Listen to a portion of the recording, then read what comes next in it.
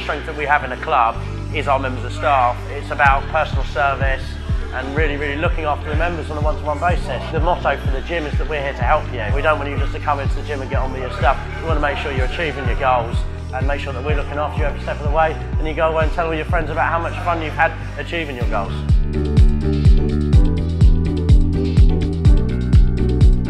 We think everyone should be exercising. It makes you a happier person. There's so many benefits to exercise that we just want everyone to come in here, get into a nice social aspect of exercise and really, really just enjoy the environment they're in.